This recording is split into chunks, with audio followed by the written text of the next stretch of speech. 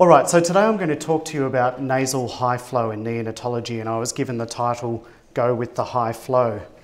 Now, if you ask some of my colleagues and friends in the United Kingdom, in fact, this is the poster that one of those friends has on his office door, which says, Keep calm and go with the high flow. So let's see what we all think at the end of this talk. I'm going to try and cover what is nasal high flow, the advantages or potential advantages of high flow over CPAP, the mechanisms of action of high flow, and then concentrate on the existing evidence for high flow use from clinical trials, of which there are now several.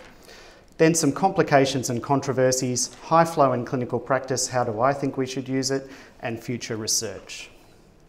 So what is nasal high flow? Well, nasal high flow is the use of small binasal prongs delivering heated and humidified blended oxygen or air, similar to with invasive ventilation or with CPAP. And typically we're talking about gas flows in clinical use and those in clinical trials of between 2 and 8 litres per minute, which you will all recognise is quite a lot higher than what we've traditionally used in neonatology just for oxygen delivery.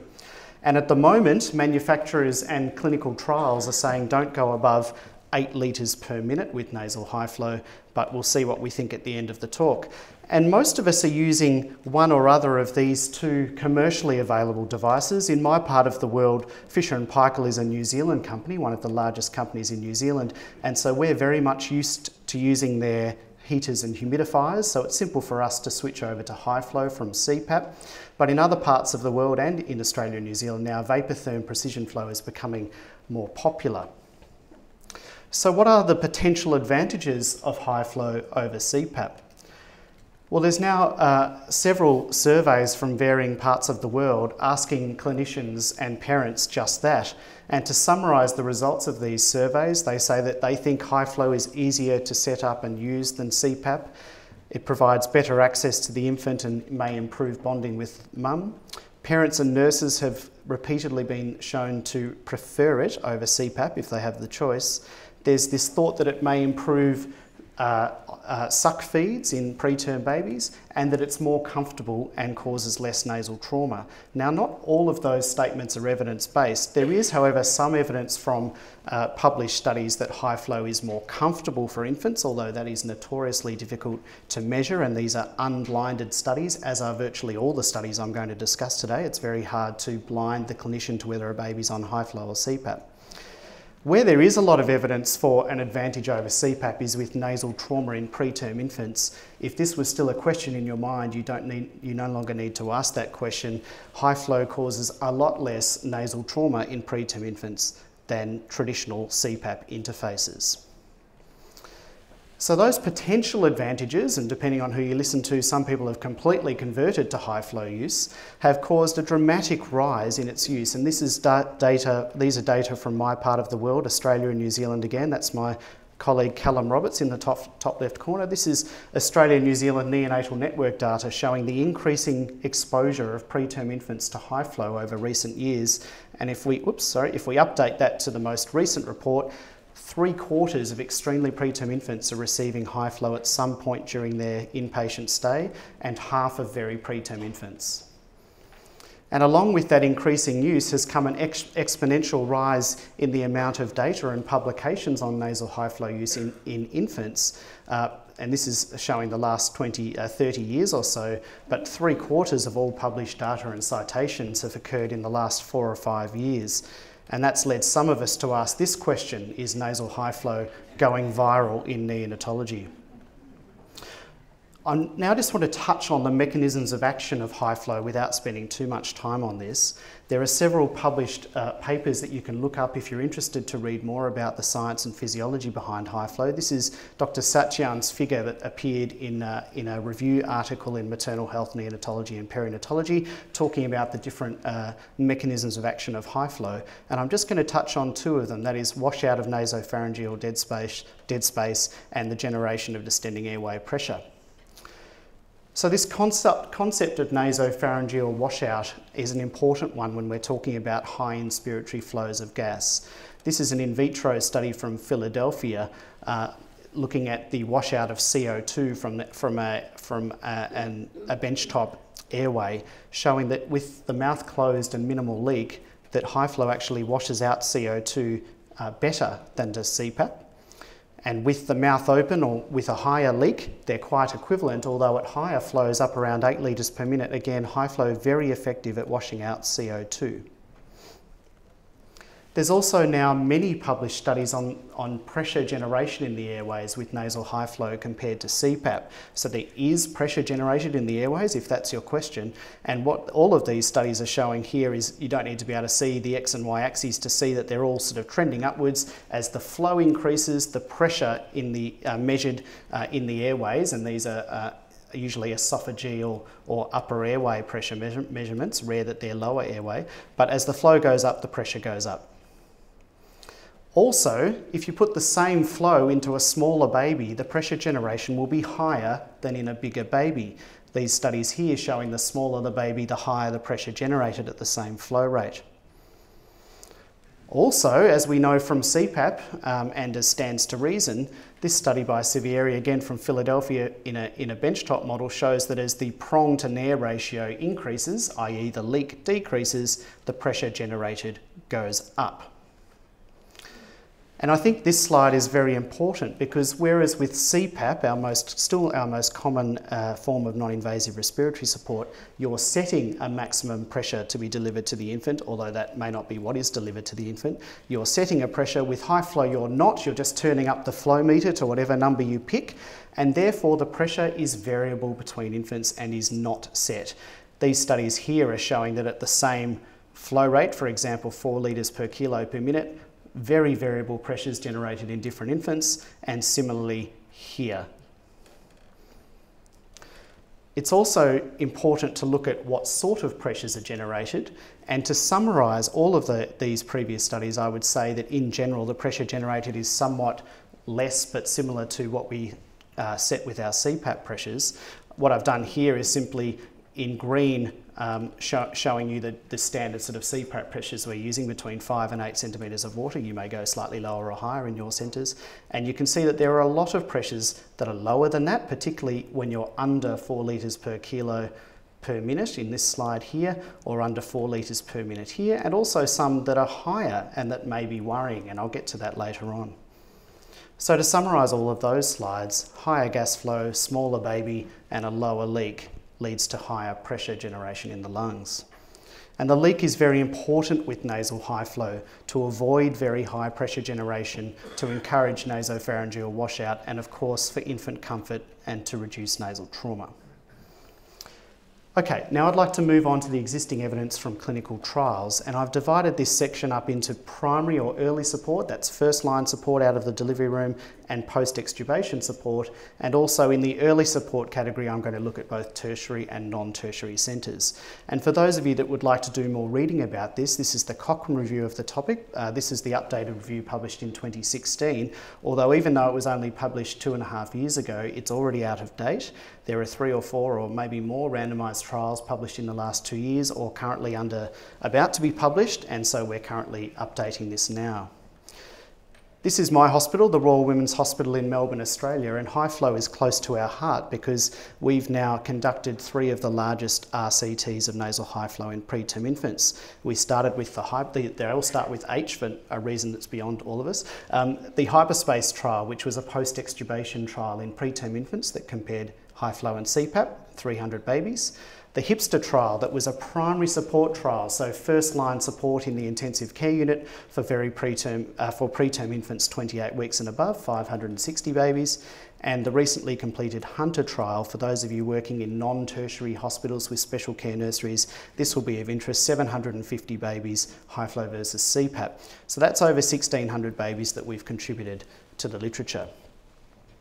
So let's start with primary or early support in tertiary centres, in NICUs. And when we're interpreting high flow primary support trials, it's very difficult because everybody does it a little bit differently. They enrol different infants, they use different gas flows, pressures, and devices. No studies have included extremely preterm infants, and that's an important takeaway point. I think if you're using high flow uh, to treat your extremely preterm infants straight out of the delivery, delivery room, that's not supported by evidence, although there are plenty of people that say it works. Um, these studies also have different treatment failure criteria and they differ in their use of rescue CPAP or nasal intermittent positive pressure ventilation in the high flow group and with the use of rescue surfactant. So it all gets very complicated when thinking about uh, how to group these studies together. But as best I can, I've tried to look at treatment failure, which some of the studies go straight from high flow to treatment failure and report that, others allow surfactant. And then I've looked at intubation, and several of the studies have a bailout or rescue CPAP uh, in, the, in the high flow arm that means that that muddies those outcomes a little bit. So this is a forest plot summarising the data for nasal high flow versus CPAP as primary support in NICUs. You don't need to be able to read all of this. Down the left hand side are the included studies and on the right, I've tried to group these into gestational age subgroups. So we've got very preterm infants at the top, more mature infants here, other studies that don't break them up into different groups and an overall effect. And you can see we've got 1,500 odd babies included in primary NICU studies. Anything to the left of this vertical line, high flow is better. Anything to the right, CPAP is better. Here's our, the largest study of high flow uh, as, as, as primary support in NICUs. That's our HIPSTER trial. And you can see where the uh, effect sits there. So overall, in very preterm infants, the diamond is a fair way to the right, favouring CPAP. So the risk of treatment failure is 13% lower if you use CPAP instead of high flow. In more mature infants, the effect is less, but still CPAP comes out on top, about a 7% reduction in treatment failure, and an overall effect of about a 9% reduction in treatment failure if you use CPAP as first line compared to high flow. Now you might say treatment failure is neither here nor there. That just means that you reach some pre-specified treatment failure criteria and you're right. If we look at intubation, remembering in the HIPSTER trial and in several others we allowed rescue CPAP, there is no difference in the rate of intubation in preterm infants between high flow and CPAP. So to summarise that, when talking about nasal high flow as primary respiratory support in the NICU, CPAP is superior to high flow at preventing treatment failure. There is no data in extremely preterm infants. However, in preterm infants born 28 weeks or above, there's no difference in the intubation rate if you've got high flow and CPAP in your unit. And it's clear that rescue CPAP with or without surfactant, of course, reduces differences in the outcomes between treatments. We've tried to take this a little bit further and look at some of the predictors of whether babies will be successfully treated with high flow as first line. And surprise, surprise, the two things that come out in the wash from our 560 baby HIPSTER trial were lower gestational age and higher uh, supplemental oxygen requirement before randomisation predicted high flow treatment failure. Okay, what about non-tertiary centres? Um, could I get a show of hands? How many of you work in non-tertiary centres, that is non-academic, non-tertiary centres without a NICU? Okay, so, so maybe only about 10% of you. Um, well, I'm pleased to say there is now some evidence around high flow use in these centres. Certainly in Australia and New Zealand, this was becoming popular with no evidence whatsoever. So we conducted the Hunter trial. So in this trial, we enrolled babies that would normally be in a non-tertiary special care nursery in Australia. Those were, they were born 31 weeks gestation or above with a birth weight of 1200 grams or above and were less than 24 hours old. And they were randomised to either high flow 6 litres per minute up to 8 or bubble CPAP 6 centimetres of water up to 8. And in fact, so even the control arm in some of these centres was a little bit different to their standard practice because now we were asking them to turn the CPAP pressure up to 8 and these are non-tertiary centres. And the primary outcome was treatment failure within 72 hours. Again, we allowed, we allowed crossover between, not crossover, we allowed babies in whom high flow failed to receive CPAP. So this was a multi-centre non-inferiority trial and I think Barbara and Haresh haven't seen them yet, but I think they're going to talk about non-inferiority trials on Wednesday morning in nine non-tertiary hospitals and we needed 750 infants and included 754. And this was the primary outcome of the trial, treatment failure within 72 hours. And you can see that the treatment failure rate was 20% in the high flow group and only 10% in the CPAP group. Highly significant difference again favouring CPAP by 10%. However, there was no difference in mechanical ventilation, no difference in transfer to a NICU, no difference in surfactant, death or pneumothorax. If anything, the pneumothorax rate favoured the high flow group. There was a small difference in hours of respiratory support or oxygen favouring CPAP, but no difference, sorry, no difference in duration of hospitalisation. So that's the only study of high flow versus CPAP in non-tertiary centres and the conclusion from that is that CPAP is superior to high flow at preventing treatment failure, although high flow with CPAP backup, again, uh, is safe and there's no difference in the rates of mechanical ventilation or transfer. And if you've only got high flow or you only want to use high flow, that might come down to individual decision making around the baby in front of you and around your centre's capabilities. Because even though I've painted this as CPAP's better than high flow, still 80% of preterm of babies were successfully treated with high flow. Okay, what about post-extubation support in NICUs? So again, we've got some of the problems with interpreting these studies that again, different flows, pressures, devices were used. There's a small number of extremely preterm infants and I'll emphasise that again later. And again, there was some use of rescue CPAP or NIPPV in the high flow group so that studies could be summarised as looking something like this. Most of them reported treatment failure, some of them allowed then CPAP or NIPPV before intubation. So again, here's the forest plot summarising the data. We've got about 700 babies here. This was our initial post-extubation study shown here and one of the only studies in extremely, that included extremely preterm infants. So for less than 28 weekers, there is no difference. The diamond just touches the line, although it is heading towards favouring CPAP. And in more mature infants, no difference whatsoever in treatment failure rates and overall no difference when we look at intubation, there's about 850 uh, babies included here. Now the diamond is uh, right over the line there and no longer favouring CPAP, and that's because rescue CPAP was allowed in the high flow groups. In the more mature infants, if anything, the diamond's gone further to the left, and overall no difference in intubation rates. So from post-extubation support, we could say nasal high flow has similar efficacy or is non-inferior, if you like, to CPAP and can be used as post-extubation support in preterm infants. But we need to be cautious in extremely preterm infants when there, where there is minimal data, although again with CPAP backup there was no difference in extubation failure. So the use of nasal high flow in neonatology has not been without controversy and every now and then a paper like this pops up associating nasal high flow use in neonatology with higher BPD, death, ROP, and postnatal steroid use. And it's really important for us to think carefully when we interpret the data and look at these sorts of papers because is it the chicken or the egg? And we need to be very careful when we interpret retrospective studies looking at associations and go back to the RCTs and the meta analysis for the answers. Where there is some concern is around the duration of support and whether you use it as primary support or as post-extubation support, people are worried that is increasing the duration of respiratory support, particularly in the more preterm babies. This slide summarises the data from RCTs. Those studies that reported a mean duration of support are shown here and overall it is slightly longer in, in high flow, but we're talking about 0.4 of a day, so not a huge difference. In our two trials here, we did see one day longer in the HIPSTER trial of respiratory support that may or may not be important, and five hours longer in non-tertiary centres that may or may not be important. With post-extubation studies, however the duration of support has been reported, there is no difference between high flow and CPAP. Having said that, why might high flow use, especially if we use more and more of it, increase the duration of respiratory support? Well, it might be because it's less effective and babies need more support. It might be because we're not good at weaning it, and I'll be interested to hear how you're all weaning or increasing your flow rates. I know some of you are doing it by 0.5 litres per minute or 0.1 litres per minute and weaning all the way down to 1 litre per minute, for example.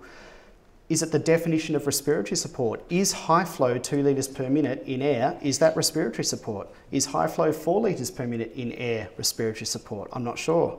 Or are we intentionally using it for longer in more, in more babies because they look comfortable, the parents like it, and we leave it on? It's heated and humidified gases. But whatever way we're doing it, we need to be diligent in weaning and ceasing high flow, especially if we're classifying it as respiratory support. I talked earlier about pressures, and these are some old studies that have raised alarms about nasal high flow use, reporting babies that had pneumothoraces, high pressures, scalp emphysema, pneumocephalus, all sorts of horrible things. And so I do hear this a bit that if you turn the high flow up too high, like some centres won't go above six litres per minute, you're going to get pneumothoraces or air leaks. Um, I can reassure you about that. Here's all of the RCTs reporting pneumothorax. These are the primary support trials. So these are babies, many of whom have not had surfactant, most of whom have not had surfactant. absolutely no difference in pneumothorax. And if you're worried about post-extubation studies, don't, because if anything, there are less pneumothoraces with high flow use compared to CPAP. I think one of the biggest controversies that still remains unanswered is which device we should be using. I mentioned we have used the Fisher and Paykel system in Australia and New Zealand a lot uh, because that's what we've had and that's what we used mainly in our RCTs. But when you speak to those people who use Vapotherm routinely in clinical practice, and in fact some centres have completely replaced CPAP with high flow, they're usually using the Vapotherm system and they swear there's something different. On the other hand, how can it be different? I don't know. Um, air's blowing out a hole coming out of a machine, it's heated and humidified at a gas flow and going into the baby. Nevertheless, I think this is an important question that we need to look at. Okay, so what do we do? How do we use high flow in clinical practice in Melbourne? Well, we use it as an alternative to CPAP, and in NICU, it's our routine post extubation support for preterm babies born 28 weeks or above. So we're avoiding it in extremely preterm infants where there is minimal data and we're worried about uh, the fact that high flow may not be as effective. We're using it in stable infants on CPAP when they're stable enough to switch to what we think is a more comfortable and easy to use support. We're using it in babies who have established or are threatening to have nasal trauma, and we're using it if we've stopped respiratory support and babies need to go back on something as an alternative to CPAP. We're not using it as primary support in infants born before 30 weeks, mainly because of our secondary analysis of the HIPSTER trial suggesting that those lower gestational age were, ages were at much higher risk. So we're currently undertaking a prospective audit looking at babies born 30 weeks or above in less than 30% oxygen, so that's quite a well population to see if it may be effective in that group. And we're using it in patients with evolving bronchopulmonary dysplasia as an alternative to low flow. And this is an evidence free zone. We're doing this because we wonder whether we might, in fact, limit exposure of oxygen to those babies. Instead of giving them 100% oxygen low flow nasal cannula, we may be able to have them in air more often if we use higher flows. And so that's a, something that's crept into practice but is not evidence based. We're using the Optiflow Junior F&P system. We're starting our gas flow for all indications at six to seven litres per minute, which may be higher than what some of you are doing. We're always turning it up to eight litres per minute or trying to, and if it's not working, we switch babies to CPAP. And we use increments and decrements of at least one litre per minute when we're going down or up on the flow, and we try and do that once or twice a day, although that doesn't always happen. And our standard minimum is 4 litres per minute, not maximum, minimum is 4 litres per minute. And at 4 litres per minute, if babies are stable in minimal oxygen, we stop the high flow. And in babies that have recovered more rapidly than that, even if they started on 6 or 7 litres per minute, had some TTN and got better, we just stop the high flow. We don't wean it, just like you might stop the CPAP cold turkey. We have tried to come up with some consensus guidelines uh, to this, and some of us got together a few years ago, and these were the things we came up with that we uh, acknowledge the need for adequate heating and humidification, which all the commercially available systems do. We think it's important to have a leak at the nares, only to go up to 8 litres per minute, other than in clinical trials, to assess the fraction of inspired oxygen and work of breathing to determine the need for gas flow changes, to always wean the oxygen first before weaning the gas flow, and that we all thought we could use high flow as post extubation support in preterm babies other than extremely preterm infants. So in conclusion, nasal high flow is a useful therapy that's still finding its way in neonatology. It's not superior to CPAP in any clinical role in any of the randomised trials, but it's comfortable, easy to use, reduces nasal trauma and may, may or may not reduce pneumothorax. So the evidence suggests high flow can be safely and effectively used as primary or early support if CPAP is backup is available, or as post-extubation support in infants born 28 weeks gestation or above. And where's this leading us in the future? Well, we've got lots of ideas and things that are underway. Firstly, in the non tertiary setting and the lower resource setting, I think there's a lot more for us to do. Cost effectiveness analysis, looking at predictors of which babies could be treated with high flow versus CPAP, and asking parents and nurses what they think, and we've got all of those things underway. We wonder whether higher flow rates above 8 litres per minute might be more effective. We wonder about using high flow in the delivery room as an easy intervention with or without minimally or less invasive surfactant. And we'd like to perform some sort of head-to-head -head comparison of high flow devices. One of the things we're looking at at the moment, this is Kate Hodgson, my PhD student, is the use of nasal high flow to increase the successful uh, in, increase successful endotracheal intubation of, of preterm and term infants uh, and keep them stable during that procedure. So the idea here is that a baby undergoing elective intubation or even delivery room intubation, put the nasal high flow on the baby at 8 litres per minute, intubate the baby, and when the baby's intubated, take the high flow off. And this is a study that we've just started now. Here's a real late preterm infant being intubated by a first year resident. High flow prongs are in in about three seconds. Endotracheal tube goes in. We're monitoring the oxygen and the heart rate. And the idea here is something similar to the Thrive technique in older infants and children, which anaesthetists are using um, for uh, apneic oxygenation during anaesthetics. And high flow has been shown that it keeps oxygen stable even when infants and children are apneic for several minutes or longer. So that's a study underway at the moment, and we'll keep you updated on that. So, should we keep calm and go with the high flow or not? I'll maybe leave the answer to one of the great philosophers of our time who said, Don't ever go with the flow, be the flow. Thank you very much.